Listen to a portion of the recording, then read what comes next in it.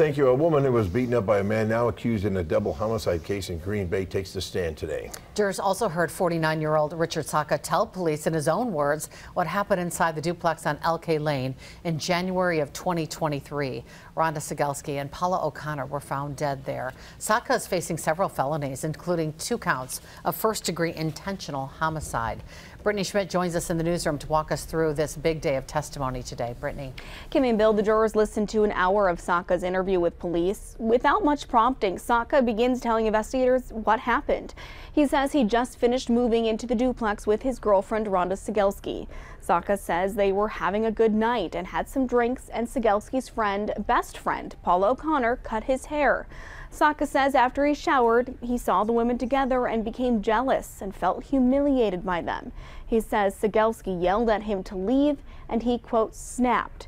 He also admitted to police this has happened before. 22 years ago, he beat up a woman in Marinette County and was convicted of the crime. 21 years ago, I snapped in the same thing. Okay.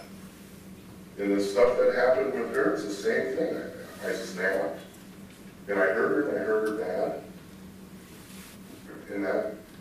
Did that come back a little bit after a while? Are you remembering it more? Or? No, okay. not enough. That victim took the stand today. She says when they got home from drinking at a bar, Sotka bumped a glass of water she was drinking and it knocked out her fake tooth.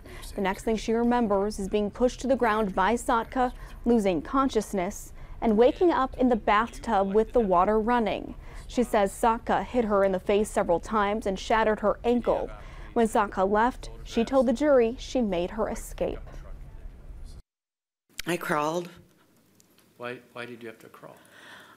I, my ankle was shattered. Um, then I went to the front of the house, and uh, that was under construction or something. There was some insulation in front of the door.